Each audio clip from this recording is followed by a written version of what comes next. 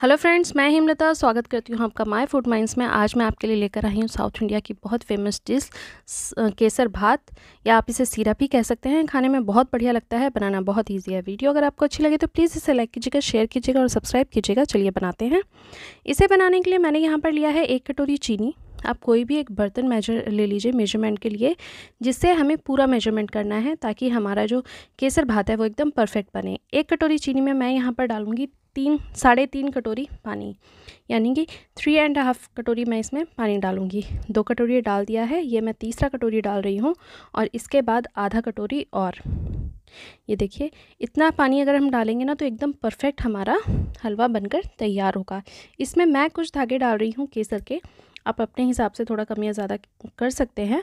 मैं यहाँ पर कुछ धागे केसर के डाल रही हूँ, क्योंकि हम केसरी भात बना रहे हैं तो केसर तो डालना है ही। अब इसे हमें उबलने देना है, एक उबाल आने देना है। चीनी को ना, जब तक चीनी नहीं खुलती है, इस तरह से इसको हमें हिलाना है और उसके बाद इसमें उबाल हमें आने देना है।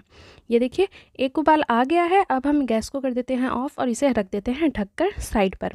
तो अब बनाते हैं हमारा हम केसर भात। तो सबसे पहले हम ड्राई फ्रूट्स को रोस्ट करेंगे। एक चम्मच घी डाला है मैंने। इसमें मैं ड्राई फ्रूट्स डाल रही हूँ। आप अपनी पसंद का कोई भी ड्राई फ्रूट ले सकते हैं। मैं यहाँ पे काजू और बादाम ले रही हूँ। किशमिश थोड़ी ज़्यादा ले रही हूँ क्योंकि मेरे बच्चों को किशमिश ज़्यादा पसंद आती है। आप अपने हिसाब से क्वांटिटी कम या ज़्यादा कर सकते हैं। बादाम और काजू को हमने पहले रोस्ट करना है थोड़ा, क्योंकि किशमिश जो है वो बहुत जल्दी रोस्ट हो जाती है, इसलिए हमें पहले थोड़ी देर बादाम और काजू को रोस्ट करना है, उसके बाद हम इसमें किशमिश ऐड करेंगे। अगर किशमिश ज़्यादा कुक हो जाए ना तो उसमें थोड़ा कड़वापन आ जाता है। इसलिए हम लास्ट में, सबसे लास्ट में किशमिश डालेंगे और फटाफट, ये देखिए आप देखेंगे ये फूलनी शुरू हो जाएगी। फटाफट इसका कलर चेंज हो जाएगा और ये फूलनी शुरू हो जाएगी।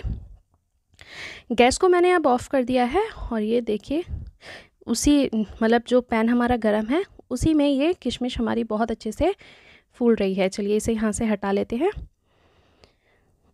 ये देखिए किशम ड्राई फ्रूट्स को मैंने हटा लिया और सेम पैन लिया है और सेम कटोरी ली है जिससे मैंने पानी और चीनी नापा था। अब मैंने यहाँ पर एक कटोरी ली है सूजी रवा बारीक वाला जो नॉर्मल आता है कहीं भी कि, किसी भी किराना स्टोर पे बहुत ईजिली मिल जाएगा। इसमें हमें डालना है घी दो चम्मच भर के मैं इसमें डाल रही हूँ घी। घी हमें यहाँ पर वन थर्ड कप कटोरी लेना है यानी कि जो हम सूजी हमने नापी है जिससे उससे वन थर्ड कटोरी हम यहाँ पर घी लेंगे। घी को हमें इसमें अच्छी तरह से मिक्स करते हुए और जब तक सूजी का कलर थोड़ा ब्राउन ना हो जाए, तब तक हमें इसे कुक करना है। ये देखिए, सूजी का कलर आप देख रहे हैं। हल्का हल्का ब्राउन होना शुरू हो गया है। सूजी हमारी बहुत अच्छी तरह से भुन गई है मतलब हमें इसे लो फ्लेम मीडियम फ्लेम पर हमें इसे फ्राई करना था। लो मीडियम फ्लेम पर हमने इसे करा है ब्राउन कलर आने तक, इसको अच्छी तरह से हमने फ्राई करा है।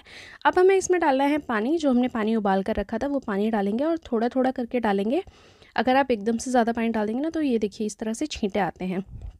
आप थोड़ा थोड़ा करके डालिए, फिर हिलाइए, फिर उसके बाद डालिए, फिर हिलाइए, इस तरह से करके हमें इसमें पानी डालना है। मैंने अभी थोड़ा पानी डाला है, अब इसको एक बार मिक्स कर लेते हैं अच्छे से, और फिर उसके बाद जो बचा हुआ है पानी, वो हम इसमें डालेंगे। मीठा आप अपने हिसाब से थोड़ा कम या ज़्यादा कर सकते हैं। मीठा जो मैंने इसमें डाला है एक कटोरी, वो एकदम परफेक्ट रहेगा। आप इससे ज़्यादा अगर तेज़ मीठा खाना पसंद करते हैं तो जब पानी उबालें तो उसमें थोड़ा और मीठा ऐड कर सकते हैं। ये देखिए, हमारी, हमने सारा पानी डाल दिया है। अब हमें इसे ना इसी तरह से हिलाते हुए, अच्छी तरह से इसको हमें गाढ़ा करना है। लेकिन सबसे पहले हम इसमें डाल देते हैं कलर फ़ूड कलर क्योंकि हम केसरी भात बना रहे हैं, केसर कलर का हमें चाहिए, सीरा बना रहे हैं, वो केसर कलर का होता है, यानी कि उसका जो कलर है वो थोड़ा सा ऑरेंज होता है, इसलिए मैं इसमें डाल रही हूँ ऑरेंज कलर का फ़ूड कलर बहुत इजीली मार्केट में मिल जाता है, आप ये डाल दीजिए और इसे डालने के तुरंत बाद आप देखेंगे कितना बढ़िया कलर आना शुरू हो गया है हमारे हलवे का। अब इसको यहाँ से हमें इसी तरह से पकाना है, ये देखिए इस इस तरह से पकाते पकाते ये इस कंसिस्टेंसी में आ गया है। जब ये ऐसे हो जाए, तब हम इसमें जो हमारे ड्राई फ्रूट्स हैं, वो ड्राई फ्रूट्स डालेंगे, लेकिन हम सारे ड्राई फ्रूट्स नहीं डालेंगे। थोड़े से ड्राई फ्रूट्स को हम बचा के रखेंगे, जो हमारे सर्विंग के टाइम पर काम आएँगे। जब हम सर्व करते हैं तो हम उन ड्राई फ्रूट्स को यूज़ करेंगे। ये देखिए, मैंने इसमें ड्राई फ्रूट्स थोड़े से डाल दिए हैं, और इसे हमें मिक्स करके ना अभी और थोड़ा गाढ़ा होने देना है। और अभी तो हमने थोड़ा सा कटोरी में घी भी बचा रखा है। वो घी भी हमें इसमें डालना है। ये देखिए, मिक्स कर दिया था मैंने सबको और अब इसमें हमें वो घी डाल देना है, जो घी हमने बचा के रखा हुआ था। ये देखिए, इसको अच्छी तरह से इस इस तरह से घी डालने से क्या होता है? कलर बहुत शाइनिंग बहुत बढ़िया आती है हलवे में। जो हम सीरा बना रहे हैं, इसमें ना एक अलग ही शाइनिंग आती है।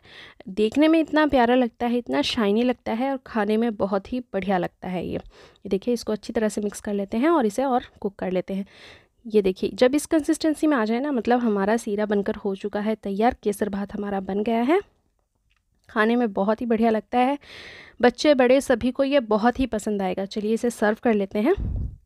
सर्व करने के लिए जिस भी बर्तन में आप सर्व करें, वहाँ पर इसको पहले नीचे ड्राई फ्रूट्स डालें और उसके बाद ही इस पर लगा दें जो हमने सीरा बनाया है, वो सीरा डाल दें और फिर उसके बाद हमें इसे पाँच मिनट के लिए रेस्ट पर रखना है। ये देखिए, अच्छी तरह से ये डाल के फिर इसको सेट कर दीजिए। इसी तरह से दो, तीन जितनी भी कटोरियों में ये आए, उतने में आप इसको लगा सकते हैं। अब मैं आपको दिखाती हूँ निकाल के। पाँच मिनट मैंने इसको रेस्ट पर रखा और ये देखिए, देखते ही ना खाने का मन करेगा। इस तरह से ये बनकर तैयार होता है। ये देखिए क्या बढ़िया लग रहा है ना देखने में।